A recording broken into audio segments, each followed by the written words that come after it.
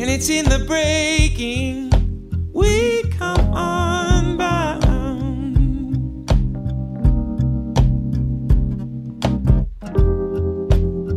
And it's in the giving. We are found. Yeah. You barely change. Welcome to A Medicinal Mind Wisdom and Well Being, a podcast dedicated to the telling of authentic stories and the sharing of insightful wisdom, exploring science and spirituality, medicine and Mother Nature. No topic is off limits when it comes to growing our personal understanding and supporting our collective well being. With your host, Dr. Rob Abbott, a family medicine resident practicing spiritually focused and evolutionarily informed functional medicine, we hope to nourish your being so that you can flourish in whatever the moment has called for you to do. And I know you tried.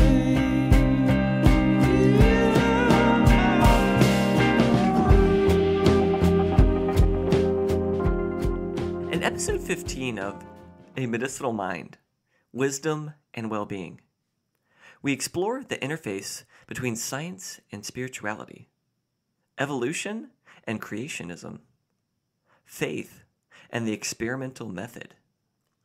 I have a wonderful conversation with a dear friend, an honorary family member, former governor of North Carolina, and nurturing grandfather, Dr. Jim Martin.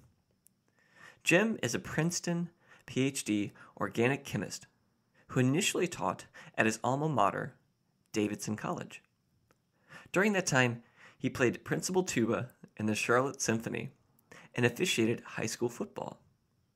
Drawn to politics as a precinct worker, he was then elected three times as county commissioner, six times to the U.S. Congress, and twice as governor of North Carolina. After 26 years of public service, he returned to his scientific roots in private life to serve as vice president of medical research at Carolinas Medical Center in Charlotte, North Carolina. He and his wife Dottie have three children and five grandchildren, in addition to being amazing family friends to my grandparents and all the Abbotts in my loving family. In our conversation today, Jim shares some amazing insights regarding the complexities of biology, organic chemistry, and physics as they relate to the current existence of humanity and our universe as a whole. In distilling down some of the major ideas in his groundbreaking book, Revelation Through Science, Jim provides us with a small glimpse into some foundational scientific principles that perhaps do not and will never prove the existence of a God, but do indeed provide evidence for the existence of a larger creator. Introducing the concepts of irreducible complexities, the remarkable relational geometry of DNA, RNA, sugars, and amino acids, we explore the miraculous machinery that allows for the storage and interpretation of our genetic code, and the eventual creation of an incredible array of proteins and biologic tissues. Getting a little geeky, we, as two chemists, explore the concepts of chirality, or handedness, of molecules. Why should we care if something is left handed or right handed? And what does it mean to be left handed in the first place? And what the heck is an enantiomer? Changing gears, James and I explore scripture and the biblical text. Can we treat the Bible as a scientific textbook? Or is it a book of relational and interpretive wisdom? Is it fair to judge the Bible against our current understanding of the scientific method?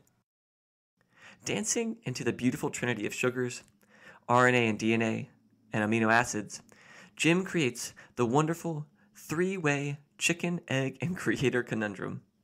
What came first? Nucleic acids? Or ribose and deoxyribose?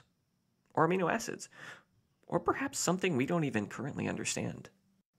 I am so grateful to Jim for sharing this space with me and engaging in a thoughtful discussion seeking to bring peace to the supposed dichotomy between science and spirituality, providing a middle ground for individuals to recognize that we can both believe in God and evolution, use the scientific method, and rely on our faith for understanding. And please check out Jim's book, Revelation Through Science. It really is a fascinating collection of thoughtful scientific inquiry, accessible to both the rigorous scientist and curious layperson. You can find links to Jim's page and his book in our show notes, as well as slides describing some of the concepts we discuss in this podcast, for those, like myself, who are rather visually inclined. I really hope you enjoy the show. Hey, Jim, thank you so much for coming on the show and for sharing a conversation with me. It feels a little odd that we're actually doing this on the computer. I'm so used to being able to be with you in person, but I really wanted you to come on to talk well, about for uh, for arranging it. This is the first time I've tried this particular technology for a conversation. We'll see how it goes. well, I, by the way, Dr. Abbott well, thank you. I'm doing really, really well, and I'm impressed that you're willing to uh, play around with this kind of technology. I'm, I'm impressed day in day out by my grandparents and uh, your guys' generation for being willing to to want to play around with some of these toys. Well, I'll try to represent the octogenarian generation as well as I can on behalf of your parents and and me. Well, thank you. Um, so you know, I, we're having this conversation today mainly because I think you have some incredible ideas that you managed to piece together in a book. and some of these ideas just really blew my world. And I thought would be a great conversation to have with our audience to really perhaps give them some new ways of thinking about science, spirituality, religion, and you know, but before we dig into some of the the details, the ideas in the book, I would love for you to just let people know a little bit about you and who you are, and and perhaps a little about your spiritual background as a child and um, through the the many years of your life. Well, I don't know how interesting it'll be, but I'll I'll tell you, I was born in Savannah, Georgia. My dad was a Presbyterian minister, and uh, when I was uh, young, about two years old, we moved to Winnsboro, South Carolina, and I grew up in the Presbyterian manse. Uh, not only was I a preacher's kid, but uh, also my mother was a preacher's wife. And that's a big part of the story because uh, she made sure that uh, her four boys knew where they're supposed to be on Sunday morning. And we sometimes would sneak over next door to the church and practice on the piano or even the organ. They had a nice uh, pipe organ there, and uh, we played ping pong and uh, enjoy the facilities. But the main thing is, uh, I guess, for our purposes here on on this uh, particular discussion, is that uh, probably I've missed out on the experience of many young people my age at the time of going through a period of doubt and uh, hopefully coming out uh, on the other side because uh, Mama Martin uh, didn't particularly uh, have much to do with doubt, and uh, her boys weren't supposed to go through that. Yeah. Just out on that uh, growth opportunity, but I've tried to to stay with it. Uh, so we're lifelong Presbyterians. I went to graduate school at after graduating from Davidson College. Went to Princeton University, where your dad had been an undergraduate, and uh, got my doctorate in chemistry with a study of a particular reaction and the three dimensional aspect of it. It was a lot of fun. We got it done. But one of the things I noticed there more than I had at Davidson was that most scientists didn't uh, want to talk much about religion. Either they were atheists and keeping it to themselves, or they were uh, Christian or some other faith and kept that to themselves. It's hard to say. It was as if they were, if they were uh, believers, uh, they didn't want to let on, and uh, uh, seemed seemed to feel that uh, that would not be something you would be willing to share with your colleagues. So that was unfortunate. A couple of exceptions, but uh, then I went back to Davidson to teach and saw some of that, but not as uh, as prevalent as it had been. While I was at uh, graduate school, one of my professors, Everett Wallace, who taught synthetic organic chemistry, would uh, tease us students a little bit with uh, problems that he would discuss that uh, didn't have a ready answer. This wasn't based on what we did not know in science, but, but what we did know. And in particular, the three dimensional geometry of organic compounds. Just about all of those that are biologically active are asymmetric just like your your hands or you have a right hand and a left hand. They're mirror images of each other. You can take a look at them and see that that's true. And uh, yet if you uh, hold them palms down you see the thumbs point in opposite directions. So they're not they're not superimposable. Well the same thing's true of uh, organic chemicals. Uh, the molecules that are physiologically active generally are complex and asymmetric like that. And we don't find both left and right, but uh, almost always just the right handed form or just the left handed form. And as, as, I thought about that, uh, uh, he, he would lead us down a path and uh, make us think, well, how did it get to be that way? And you'll find in my book that uh, that's one of the main features that I introduced there that has not been uh, developed by other authors. We've had books by astronomers and physicists, by biologists. Uh, we've had books by theologians on the subject, but generally no discussion of uh, the complexity of organic molecules. And so, uh, in summary of, uh, of biographical nature, that sort of shows you how I got from playing ping pong next door at the church to uh, wondering about these things. And six years ago, deciding to see if I could write a book about it, which now is in print uh, Revelation through Science. The point of that meaning being that uh, science is a modern mode of revelation for us uh, to show us how God did some of these uh, marvelous things. Uh, either the the astronomers' version of the Big Bang, which fairly well tracks uh, the Genesis one one, uh, to the uh, interesting coincidence of physical constants being so finely tuned for life and I discuss that in the book and have chapters on astronomy, physics, biology, geology, and the fossil record and how that's interpreted. But then, uh, as the most uh, novel or uh, original part of the book is a discussion of these organic molecules and their complex structures and how their spatial arrangements are vital to how they work.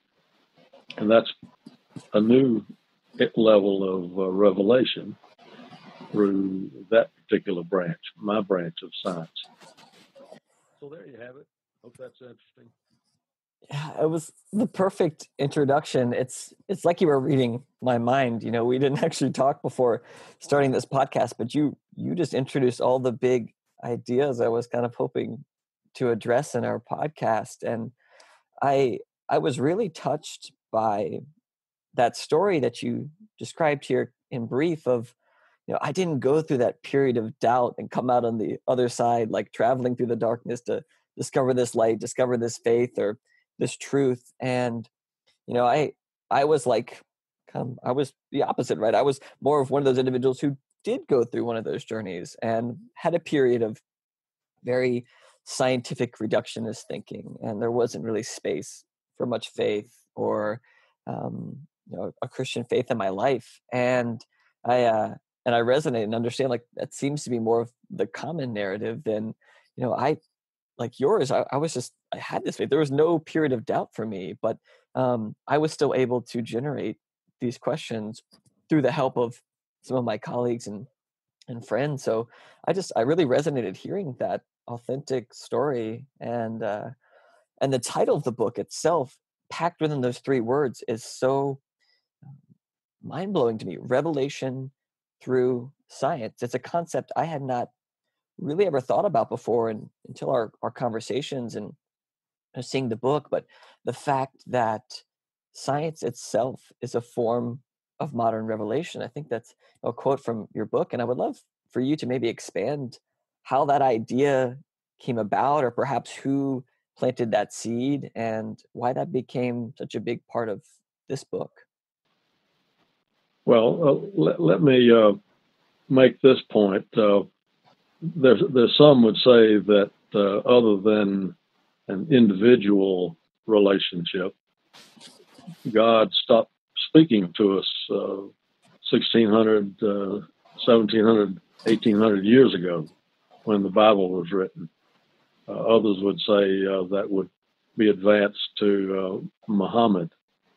But I'm saying that God still speaks to us, not only in those personal ways, but by allowing us to develop these scientific uh, approaches where we can dig more deeply into nature and see things more clearly as to how they might have happened and how they are arranged, and get us to think about that as a way of revealing the, uh, the creative power of God to us. If we and there's Dottie saying hi to Rob as she goes by.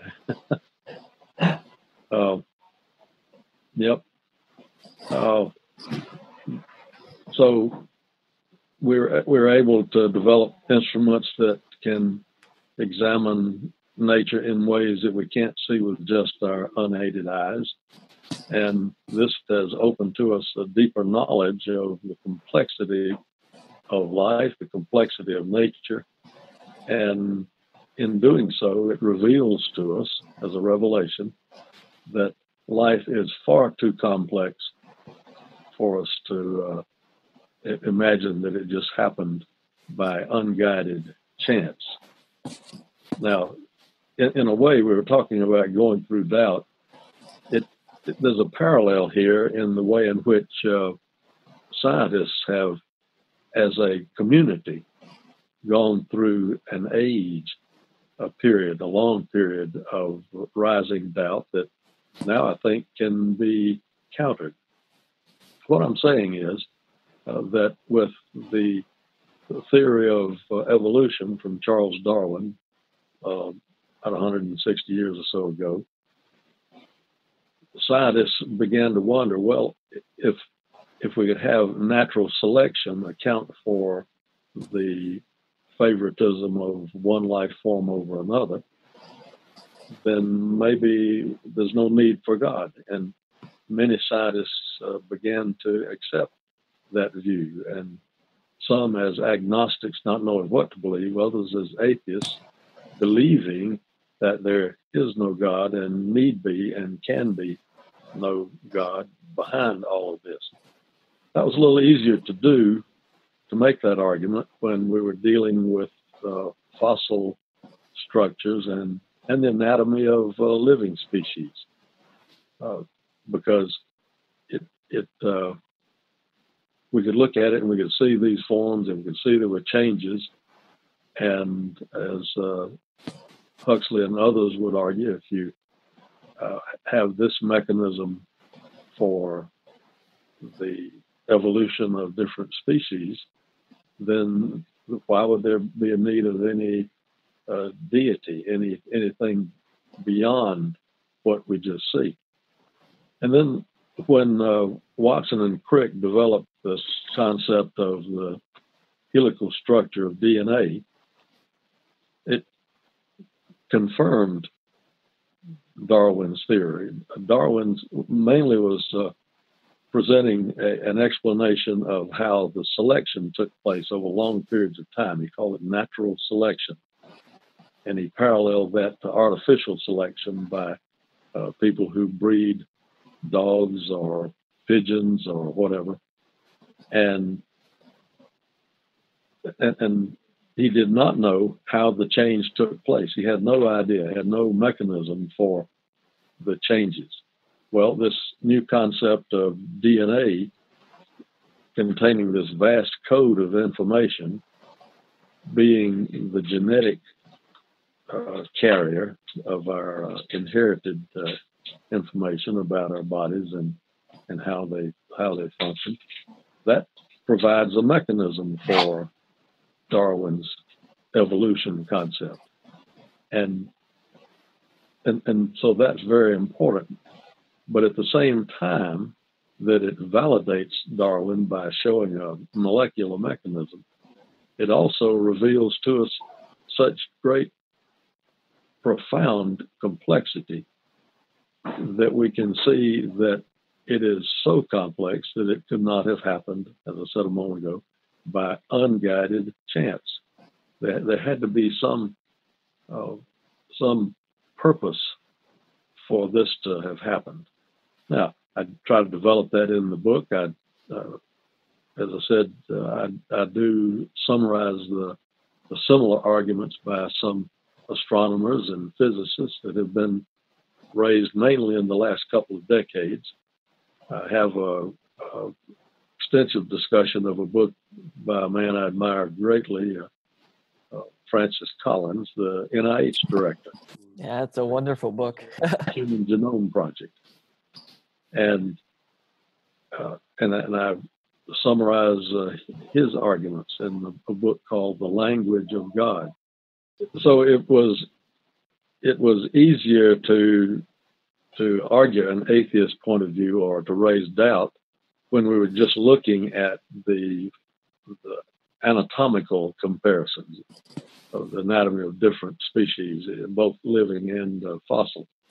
But DNA provided a mechanism for Darwin's uh, evolution, for the variation and, and how that arose by changes in the code of DNA but it also showed us something so complex, so deeply profound that it was clear that it could not have happened, as I said, by unguided chance. It showed that there was purpose behind it, and uh, there is something where science then can can strengthen your faith. And one of the themes of my book is to point out to people who are concerned that science might be the enemy of faith to show that no, it's it's not uh, contrary, but can be supportive of your faith. Science, uh, as as I would understand it, does not give us a proof of God, but it does provide us evidence that points to God, that shows us not who God is, but that God is, because there's so many things that we can find. The deeper we go into science, that are far too complex to have happened by unguided chance.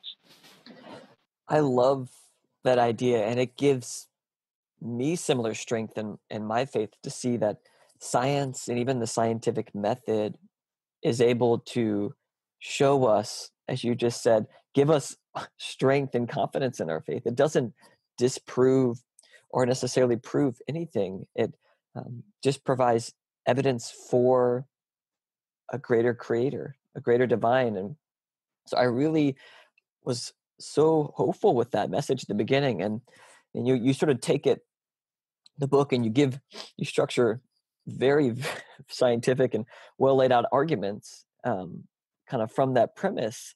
And I find it fascinating that you know you're a chemist who came into you know these concepts and these ideas and only one small aspect of the book is about chemistry or some of these concepts of organic molecules and it must have been a little daunting to you know, even with the science background to want to get into some of these discussions and arguments where you know physics isn't your um, isn't your area of expertise you know geology paleontology it just it was to me such a amazing you know outpouring of your curiosity to say look i don't totally know everything in these areas and I'll, and I'll admit to you this is my background this is my understanding but i think these are fundamental key points to to make in order to better understand this this concept of a you know greater creator and and so you know one of the early big ideas that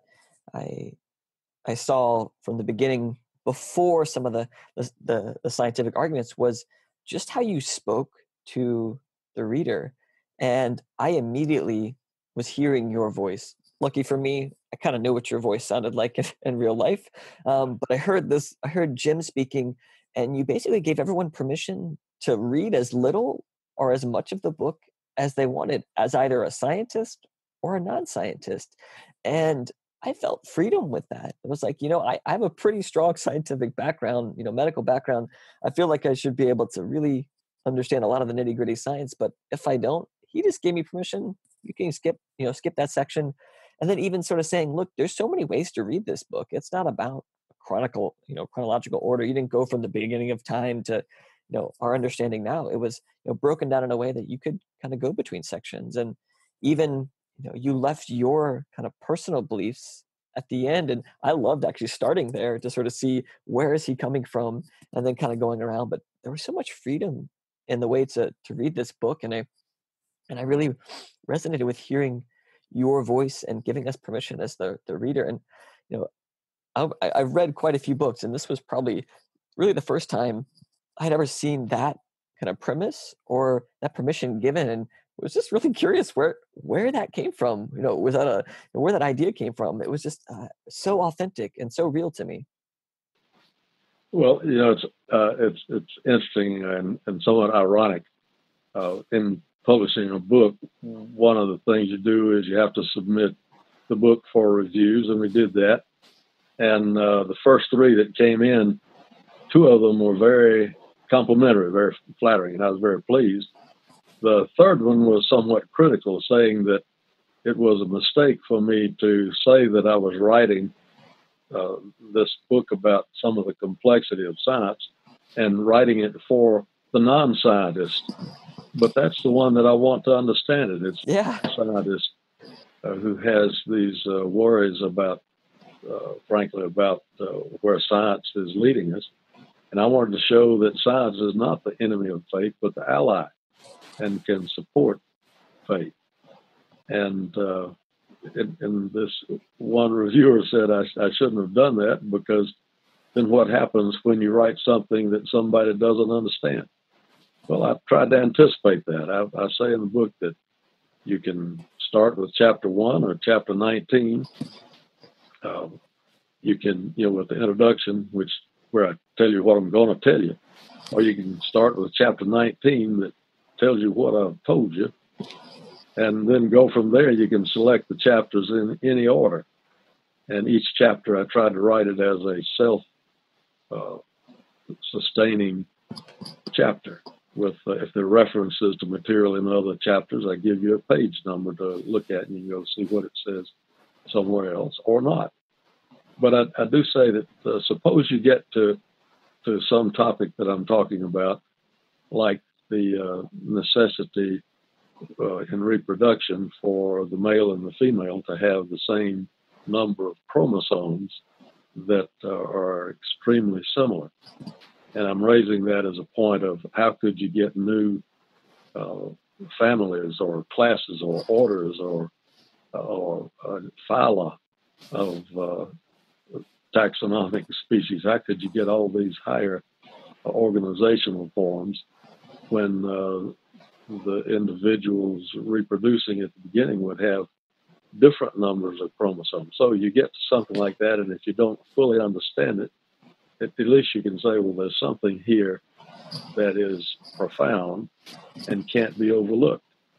Uh, the same with talking about uh, sugars and amino acids that can be right-handed or left-handed. In the case of uh, sugars, we can synthesize most of them. It's very slow and uh, long-term uh, project to do it with all the uh, equipment they would have in the laboratory. But we can do that, and you get equal amounts of right-handed and left-handed sugars, whether it's glucose or sucrose or ribose or whatever it might be. and you and you get equal amounts of left-handed and right-handed. But in nature, there aren't any left-handed sugars; they're all right-handed. And uh, I, I go into the explanation for that, but that's something that's very important to see because uh, it causes uh, you to wonder about the purpose, the intent, which implies a uh, a cause beyond what we can see in nature. And for those of us that are believers, that would be consistent with our belief in God. Yeah, I love. I say to the reader, if, if you get to that point and you see something that is miraculous, but you don't fully understand it, all you have to do is say wow and go on to the next. This one uh, uh, critic a reviewer was critical of that. Well, I, I respect uh, that point of view. I, I, tried my best to write it for the non scientist, but uh, I, I, can't uh, uh tell you a priori whether I'm that gifted to be able to do that. Each reader will have to decide for themselves. And it may be a passage that I and the reader don't communicate, or what I'm trying to say doesn't register with the understanding of the reader. And I say, don't worry about that. Just go on to the next paragraph. Maybe you can come back after you've read to the end of the chapter. I also suggest when I when I'm uh, uh, signing books, I suggest people now don't read this all at one sitting. this is something you might want to read one chapter and then put it down and let that sink in and then go to another chapter in any order you like. We'll see how it turns out. Yeah. it's it's great. Um, I think of it as appreciating the complexity or the miracle without needing to know exactly how. Um, and so you can just bask and appreciate uh, the complexity of the idea without needing to to be ground down into the to the details if they're if they're too fine. And hmm. um, I love. I want to go into that concept of the left and right-handed sugars and but just before we do that I, I wanted to get your thoughts. You mentioned this a little bit earlier, but you know, in my church, I've met quite a few people, and just you know, going through life, the you know, the book of Genesis in the Bible, and well, even just the Bible in general, what what it represents, and but the story of creation as told by Genesis, and you know, everything that we see here on earth today was was created in seven days. And you presented a different interpretation or what what truly is one the bible and then two specifically this this section the book of genesis what really might have been behind this seven days of creation and it was something very new to me to be able to see that perhaps you know, seeing it as poetic and symbolic but actually within the symbolism there were points and evidence possibly for an evolutionary process. So both being able to accept that evolution by natural selection and you know creationist events or a great creator, you could hold those ideas simultaneously. And and um, I would love to kind of you know get your thoughts you know, as you laid out in the book, but um, the the ideas behind you know, the Bible as a text and specifically the the book of Genesis. in uh, one part of the book, I, I, make this point, and I've done it in in my talks. Uh, I believe that the Bible is the Word of God, uh, interpreted through humans who wrote it, and it it can only incorporate their understanding based on what's available to them at the time and to how they see the way in which the world works. And on the other hand, it uh, would not be correct to say that the Bible is a scientific textbook because it was written long before the scientific method uh, developed and the, the approach that we use in confirming the evidence that we find about nature. Uh, the Bible does not attempt to do that. The Bible is about the relationship between God and humans, uh, the creation uh, of uh, humans and how we relate to God. It uh, does not uh, proposed to be uh, subject to the scientific method. Yeah, I um, it's just it's fascinating to me to see. You know, I've lived a life where you know grew up in a family. And my dad's a physicist. You know, grew up with science. Uh, it was my passion in school, and to really be fundamentally thinking you know, I could explain everything with the scientific method and trying to drive towards certainty or to answers. And it's only been within the last four or five years as I've kind of given into my faith and this process of unknowing or recognizing where you know questions will always rest and you can't find a definitive proof or definitive answer or where the scientific method in and of itself is not probably the the right way to attack a question and i've uh it's given me freedom to kind of balance ways that i conceptualize and think about just our world in general and i um i really loved you know, like we mentioned earlier this concept of chirality uh, this idea of handedness of molecules. I, I have a chemistry background so um, perhaps you can explain to us a little bit more about this concept of chirality or handedness and more specifically you know why does it matter so much?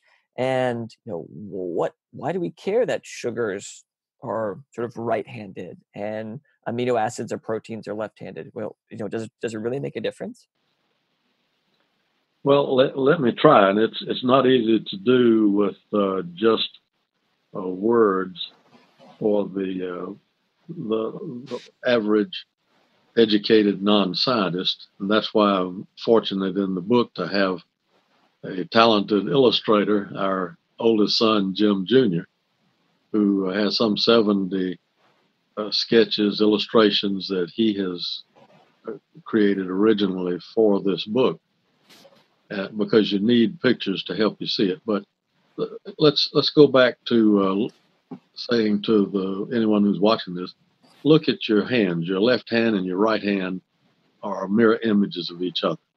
They're non superimposable mirror images. And by that, I mean if you put your palms down and place your right hand on top of your left hand, you'll see that uh, they're not identical in that the right thumb with palms down, your right hand's thumb is pointing to the left, the left hand's thumb is pointing to the right.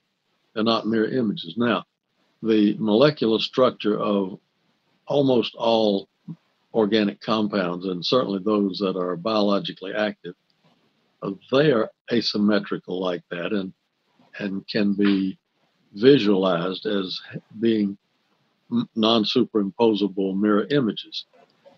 That's true of all amino acids, and we can uh, we we can synthesize amino acids in the laboratory. And just as with sugars, we can synthesize them. And in both cases, we get equal amounts of the left handed and right handed form. And yet, in the case of sugars, there are no left handed sugars in nature. They're all right handed, the way we define that concept. Uh, and here again, the, the non scientist who hasn't taken organic chemistry may not be able to fully visualize that on a molecular basis and I, and I'll send you some uh, slides that maybe you can incorporate in at this point to show uh, what the mirror images of an amino acid might look like. But in nature, as I said, there are no left-handed sugars. As far as amino acids, there are right-handed and left-handed versions, but only the left-handed amino acids get selected to be incorporated into proteins. Proteins are long polymers of a large number of amino acids. It could be hundreds of them or even thousands of amino acids in a very precise sequence. And one of the curious things is that while there, there could be uh, hundreds of different amino acids incorporated into that polymer of a protein, there are only 22 specific amino acids that get selected. That in itself is uh, an interesting observation. But of those 22, they go in a precise order. uh, whether it's glycine or alanine or phenylalanine or, or whatever it might be, they're in a precise order. They're not randomly scattered, they're selected. And they're selected on the basis of the genetic code that originally was in your DNA. The DNA uh, transcribes this information over to RNA, ribonucleic acid, and the ribonucleic acid has that information from one gene that goes into the selection of the amino acids that go into the protein for a particular protein. Now, there are 23,000 or so uh, proteins in the human body that help us do all the things that we can do. But there, each of them is comprised of a precise, defined, genetically defined sequence of these 22 particular amino acids. In addition to that, and complex as that is, the left handed amino acids are the only ones selected for being incorporated into the polymer sequence of the protein. Only the left handed version. And uh, that's because the RNA, ribonucleic acid, that selects the amino acids is itself spiraling in a right handed fashion. Its helix is right handed, like right handed screws and nuts and bolts. You go to the hardware store and you you are uh, trying to find a particular size nuts and bolts. They've got them in there organized by size, and the nut will of a let's say a, a 10-32 bolt, the 10-32 nut will fit right on there, backwards or forwards. All of those are right-handed. You've heard the phrase righty-tighty. You tighten them by uh, turning them with your right hand in the direction that your fingers go, and it put it then threads it in the direction of your thumb. That's a right-handed thread. You won't find any left-handed nuts and bolts in the hardware store because that would be a disaster. People would buy some and they'd get confused and uh, they wouldn't fit. You see, somewhere back at the beginning of the Industrial Revolution, someone made a choice that all nuts and bolts and screws, with a few exceptions, would be right handed. One of the exceptions, for example, is the turnbuckle. It has right handed threads on one end and left handed threads on the other, so that when you turn the bar in the middle, it draws the two rods toward the center, and that way holds up your screen door so it doesn't rub along the porch. Uh, so the turnbuckle has both right-handed and left-handed. Other than that particular example, there are very few uh, cases where the threads are left-handed. Your your uh, propane gas tank is one of those exceptions. I don't know why. Nobody knows why. uh, left-handed, but they are. Maybe it's so you won't attach anything else to it other than the, the fastener that's supposed to go on there. Yeah.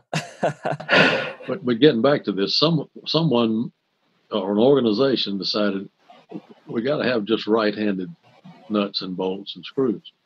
Well, it's, it's the same thing in uh, this geometry of these biologically active organic compounds. The RNA is right-handed it selects left-handed amino acids. Sugars are are biosynthesized in the cell, in in plant cells by enzymes that are proteins, and it's these left-handed amino acids in the protein that can only make either the right-handed sugar or the left-handed, and it turns out that they can only synthesize the right-handed ones. Now, right-handed ribose is the backbone of RNA, and it's what causes the RNA to spiral in that uh, right-handed form. So you see, there's like a three-way chicken and egg thing here, and it, it's uh, hard to do it just in words. I wish I had a, a chalkboard here behind me, like most professors. yeah. But the the uh,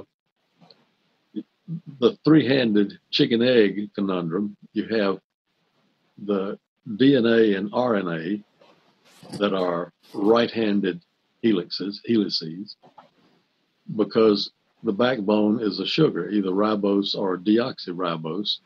And because sugars are right handed, the DNA and the RNA are right handed helices, like nuts and bolts. The sugars are right handed because they're made from proteins that are exclusively made of left handed amino acids. The left handed amino acids are that way because they were selected by the right handed RNA. See, it's a three way chicken egg. Which came first? the, the DNA and RNA with all their complexity and they're right handed, or sugars like deoxyribose, that's the backbone of DNA, ribose, which is the backbone of RNA, like all other sugars, are right handed, or proteins with the left handed amino acids. Each one of them requires the others for to be biosynthesized. It can't it can't be done without the others. And so the answer that I have is not A, B, or C, but D, all of the above. They all had to be there. The DNA and RNA, the ribose and deoxyribose and other sugars, and proteins, including proteins that help synthesize other proteins. They all had to be there in the very first living cell, or it would not have been able to reproduce and we wouldn't be here. Now, that's a miracle. That indeed is a miracle. it didn't have nice pictures for you to look at. At least you can say, wow.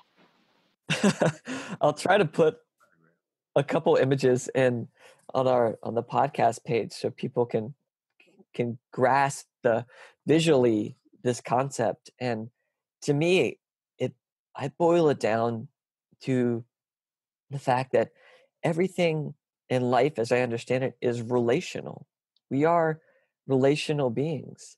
We, if we think we can describe through physics, chemistry, you know, any science, describe, you know, our perception of this reality through simply objects or a series of objects, it's um, it's just simply not going to work. You know, instead, where I see you know, the truth lying is we're all it's interactions. We're relational beings. You know, we can only hope to describe this world through complex interactions. And nothing really exists without a complementary component and it goes far beyond you know, dualistic thinking you know as you just presented here it's not even like black or white it's a b c together um, and i've uh, i've really spent some time listening to, to some physicists, and you know, I mentioned my father. Many many of these discussions about what exactly are we trying to describe in theoretical physics? Is it are we trying to describe the existence of a atom, this singular object, or are we trying to describe interactions between gravity and object forces? And it's only through interactions where I truly believe we'll ever be able to really appreciate and understand perhaps what a greater creator put forth and um, it's exactly what I hear in this three component description is know our relational nature these these complex interactions and you bring up a great point too of this difference between in my mind complexity versus something that's complicated. And someone you know told I forget exactly where I, I first read this but you know, a complicated system is one where you know it's it's very intricate but you can actually get down to describe all of its component parts. So take for instance a car engine. To me it's like I I really don't know what's going on in a car engine, but there's people out there in ways where you can break it down into all of its component parts and understand and reconstruct it. So I just described you know the idea of you know a complicated system, but what we're really describing here through biologic you know chemical phenomenon is something you know I refer to as being complex. No matter how reductionist or um, what, whatever reductionist approach you take, you'll never be able to fully explain all of the interacting and component parts. And to think that we can use a scientific method to try to break down a complex system into those component parts is it's just sort of it's it's naive. And so you know, I I rest with peace when I can identify and appreciate complex systems. And you know, it's great to through science to gain a greater understanding of maybe all the things that might interplay in the complex system. But I'm at peace knowing I don't need to fully explain it because it's just not possible. And I'd love to get perhaps your thoughts of you know that that dichotomy, that difference between you know, complicated and complex, because I feel like a lot about the book is just elucidating complex systems and allowing us to appreciate their complexity without needing to have to explain every single fine detail. Well, let me, let me try. That's an interesting thought, and uh, I don't know that I've uh, fully developed it myself, but uh, certainly here's a, a cut at it. Uh, what we're dealing with as science probes deeper into space in uh, one direction and deeper into the minutia of of uh, uh, very small microbic objects and even deeper beyond that into the minuscule dimensions of atoms and the components of atoms. In both directions, we find wonder and majesty and miracle that uh, all of these things could happen. Uh, physicists say, for example, that there are a small number of very important physical constants, like the uh, strong nuclear force constant, the weak nuclear force constant, the electromagnetic force constant, and in particular the gravity, uh, gravitation constant, that are so finely tuned that if any one of them was slightly stronger or slightly weaker, we couldn't be here. Uh, life would not have happened. An illustration that's the easiest to grasp is gravity. Uh, they point out that gravity has a particular value that has been measured very precisely, and its value is it is uh, crucial and is on a fine knife edge, uh, knife you know, a sharp edge uh, of uh, value that couldn't be slightly higher or lower. And the point is, if it was stronger, if the gravity constant that attracts masses toward each other, if it was slightly stronger by one part in a hundred billion, although there's not much room for error there, if it was that much stronger, the universe would have collapsed shortly after the Big Bang of creation. If, on the other hand, the gravity constant was slightly weaker, say one part in a hundred million, a little bit more room on that side, but not much, maybe. But if it were slightly weaker, no stars would have condensed. That is, the hydrogen would not have condensed into stars. They would not have had the thermonuclear reaction that has created all of the different elements. We would just be hydrogen. In other words, we wouldn't be talking about this because life could never have happened. It is fine tuned. And Freeman Dyson, one famous astronomer, made the observation it's as if at the moment of the Big Bang of creation, the universe knew we were coming because it was finely tuned for life. Well, that, well, that's a relationship that goes way back. And now, the deeper we go into molecular biology and we see thousands of different proteins cons- uh, composed of those same 22 amino acids, all of them left handed, uh, that organize everything in our life, uh, you've got to see there's something relational about that. If we'd had just 10,000 proteins and 10,000 genes that had the code for those proteins, uh, in effect, we wouldn't be here. We, we wouldn't have the intelligence. We would not have had the growth through evolution that gets humans to where we are sentient beings that are aware of ourselves and that can calculate and forecast, interpret the past as well as the, uh, the future. We can make predictions and test them. All of these because of uh, all of those 23,000 proteins. We couldn't do without them. We would be severely handicapped. But that shows you that uh, that vast complexity of of molecular structure has each of these things interrelated. And in particular, that three way uh, chicken and egg conundrum that I posed of, of, of, amino acids, proteins, sugars, and DNA and RNA is a perfect example of that. They all depend on each other.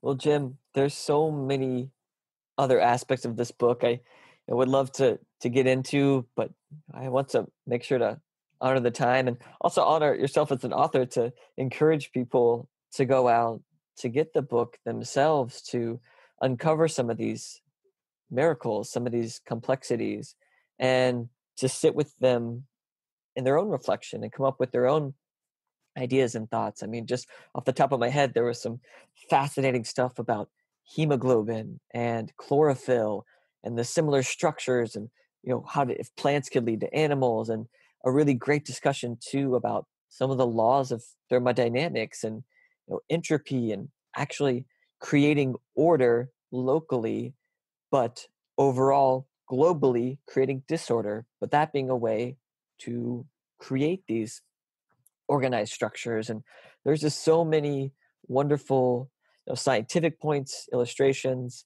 and discussions in this book and so i want to encourage everyone listening to go out and to get this book and and and to see for themselves what it is that they can uncover either as a scientist or or non-scientists and you're very kind to, to do that uh, to put in a plug for the book i I would appreciate that and, and like to hear back from people. I do have a website.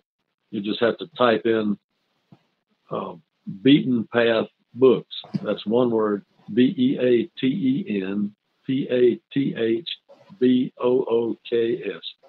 BeatenPathBooks.com. And uh, you'll see that uh, website and you can take a look at some of the things in there, see if it might interest you to read the book while we're at it, I put in a plug for an, another author.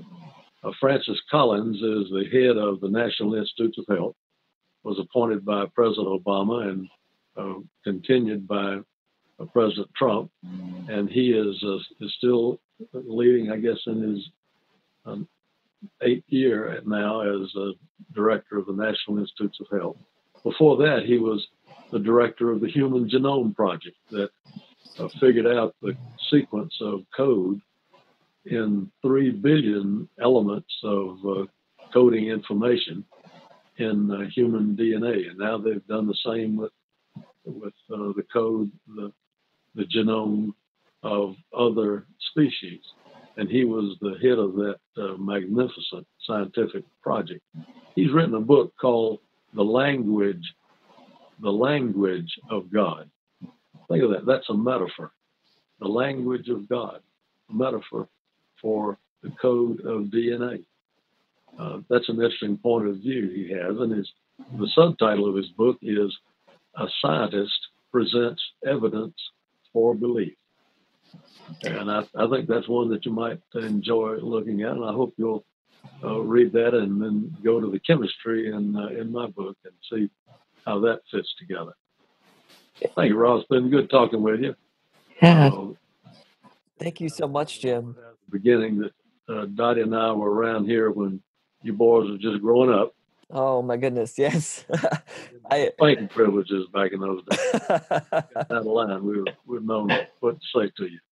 Yeah, I tell people all the time. Actually, you know, one of the saddest days of my life um, was finding out I was not actually related to you guys. You weren't really you know my aunt and, and uncle it was it was worse than finding out about the easter bunny and santa claus i was it was just it just broke my heart um, and then i realized like we could we could still be still be friends and um, so thank you for for sharing this conversation and um, i uh, can't wait to to come down to to see you hopefully in um, a few short weeks and we can take this conversation to the next level so um. Great.